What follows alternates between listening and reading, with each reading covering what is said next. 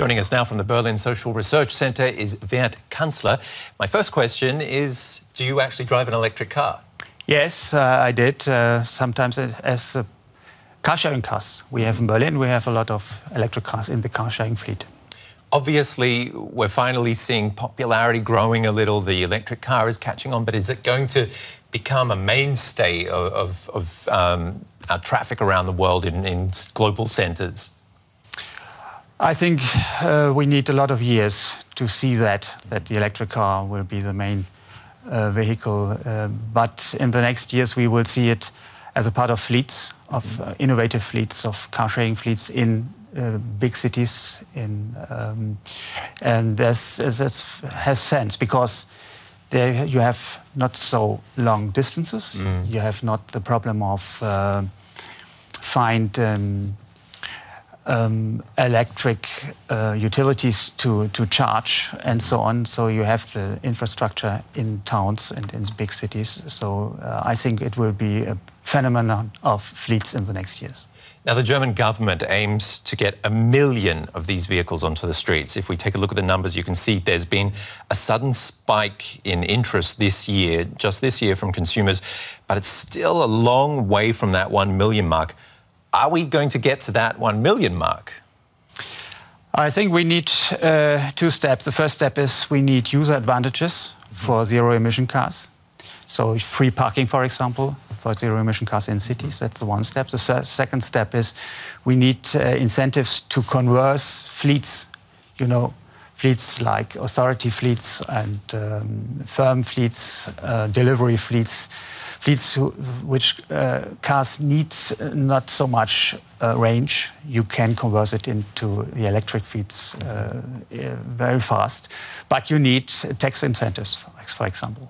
Okay, well, on the question of tax incentives, free parking, is it a must for governments to get these electric cars onto the road to reduce carbon dioxide emissions?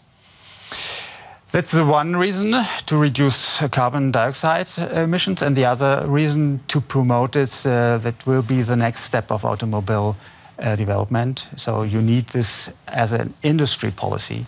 Uh, not only Germany, uh, Japan, Korea, the US as well.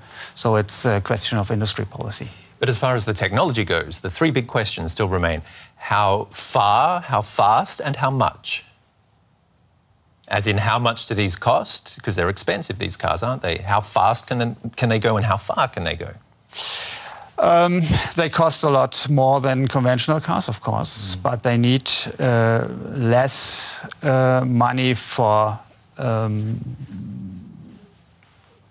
for their energy. Of course, mm -hmm. it's uh, half of the price of energy um, for electric vehicles. How fast they are?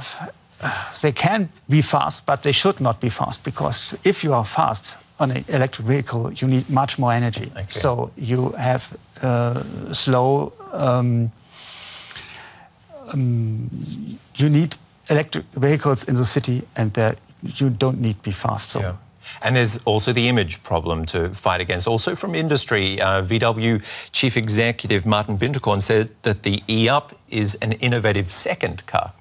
Yes, but you know we have a big second car market, mm -hmm. so uh, that could be a good idea to to deliver this cars in this second market, second uh, car market.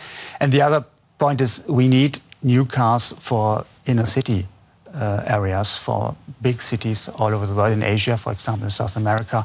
And uh, the comp competitor of Volkswagen, BMW, has a different uh, philosophy, they will deliver such new cars for these big cities in Asia and in South America. Okay, Mr. Canzler, we'll have to leave it there. Thank you very much.